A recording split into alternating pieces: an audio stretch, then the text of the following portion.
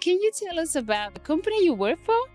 Uh, hello, guys. My name is Elwira Koszewska, and I'm waiting for the. I, I'm working for the Winncom Technologies. Uh, we are distributing of all portfolio. We are selling the um, uh, core products. We are selling um, the low cost EPMP, CN Pilot, and I'm very impressed about the strong uh, roadmap that you present uh, during this conference for the Wi-Fi. You are really, you are really guys doing uh, excellent job, and you are really introducing new product basically every quarter.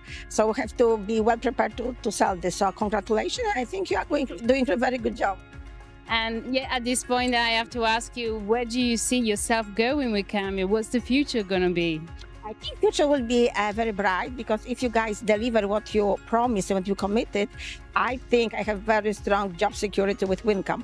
Also want to say that um, in addition to me who joined um, Cambium, uh, sorry, the um, Winncom Technology, it was another colleague, Carlos Gonzalez. So me and Carlos, both former uh, Cambium in Winncom, we can say that we have our own little private Cambium 2.0 within Winncom Technologies.